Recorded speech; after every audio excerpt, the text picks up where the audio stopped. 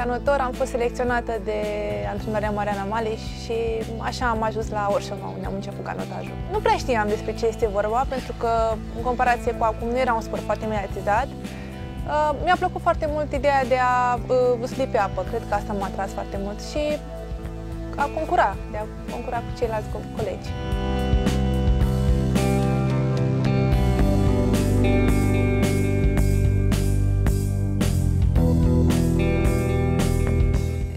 Un sport uh, dur, cred că, pentru fete, mă gândesc, dar uh, este un sport foarte frumos. Uh, te ajută să te depășești atât fizic cât și psihic, dar este un, este un sport dur. Sunt momente din acestea în care uh, îți vine să pleci și să, să nu te mai întorci, dar cred că uh, dorința asta de a, de a face ceva și a deveni cel mai bun în, în ceea ce faci, cred că s-a văzut și na, am rămas aici.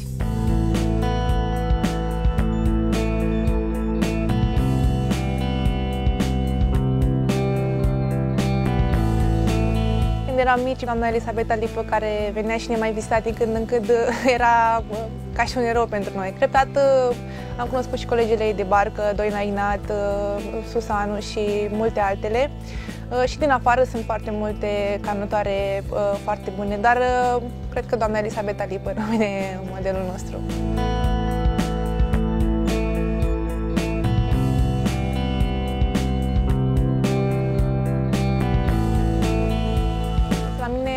Performanța a apărut destul de târziu. N-am avut un început uh, prea bun, n-am obținut nicio medalie la, la juniori, uh, destul de târziu. Cred că la tineret, în al doilea an, am uh, reușit să ies campioană mondială și apoi lucrurile cumva s-au legat și au venit de la sine. Cu domnul Mircea Roman, da, am, am, am prins barcă și am, am fost în bărcile pentru, pentru competiții.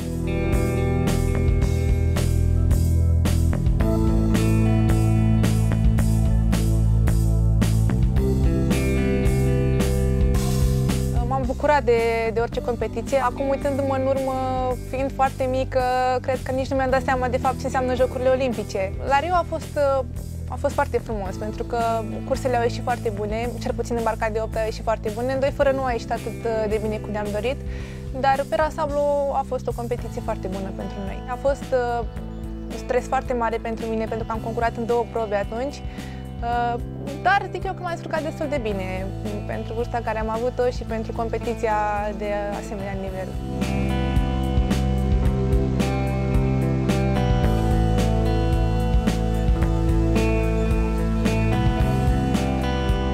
Cea mai frumoasă amintire legată de canotaj este obținerea medalei la Jocurile Olimpice de la, de la Rio. Momentan nu cred că a egalat o medalie. Pe podiumul olimpic, după ce am obținut medalia de bronz, eram foarte fericită și m-am gândit dacă pentru bronz simțeam atâta bucurie și atâta împlinire, mă gândeam pentru, pentru naul olimpic chiar și pentru un argint sau obținut împreună cu sora mea, mă gândeam oare ce aș putea trăi în, moment, în momentele alea.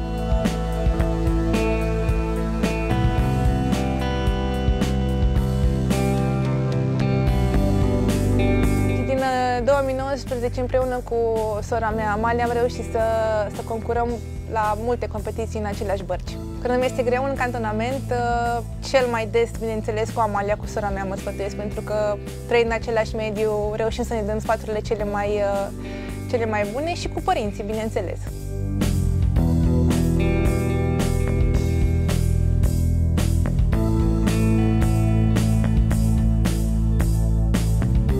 Place foarte mult ceea ce fac și fac cu pasiune. Chiar uh, ieri vorbeam cu o colegă mai mică, cu Mari, din barca de patru usle și îi spuneam să aibă răbdare că dacă îți place mult ceea ce faci, la un moment dat o să, o să vină și rezultatele. Fiecare probă are frumusețea ei. Îmi place și proba de patru rame, îmi place și proba de 8, mi-a plăcut și mult proba de 2 fără când am concurat. În acest moment cred că sunt cea mai vârstă dintre fete uh, din acest lot. Uh, urmează de aproape și Ioana Brânceanu și cam de acolo urmează Ionela Cosmiuc și ea. Sunt foarte recunoscătoare pentru tot ce mi-a oferit canotajul. Cred că există o balanță între ce am primit și ce am dat. Exact cum știm că în fiecare sport există sacrificiu, cred că asta s-a văzut și în canotaj. Adică cred că am primit fix cât am dat.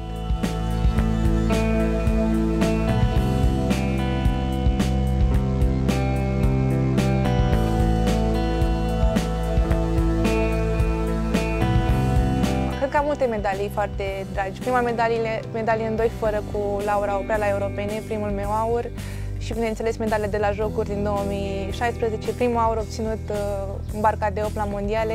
Cred că primele sunt cele mai rămân acolo. Visul meu este de a obține o medalie olimpică împreună cu Amalia, sora mea, într-o barcă, în momentul de față.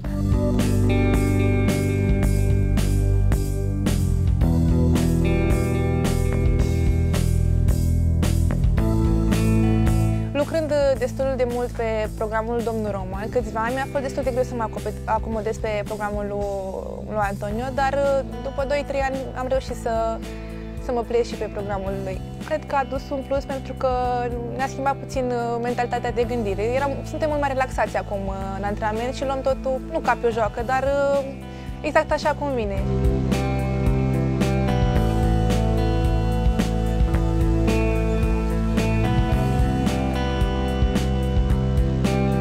La Tokyo a fost o ediție mult așteptată după 5 ani de zile, toată lumea era, a fost foarte pregătită.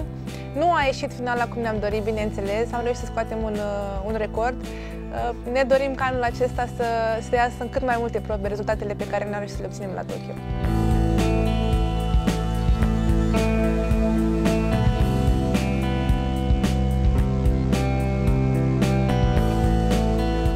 Medaliile obținute în anul precedent, atât la europene cât și la, la mondiale, cred că ne dau curaj și ne, ne responsabilizează să obținem și anul acesta astfel rezultate frumoase.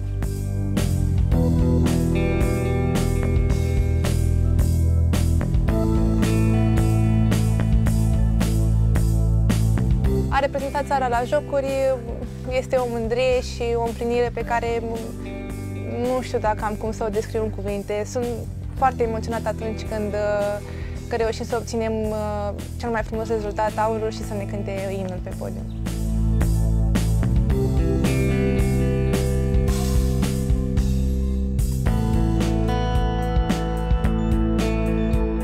Vizualizez în general competițiile, îmi place mult să, să mă gândesc dinainte cum va fi și uh, ce va fi. Presimt că ediția asta va fi ediția noastră a tuturor. Îmi doresc foarte mult să, să, obținem, să obținem anul ăsta și primul aur olimpic.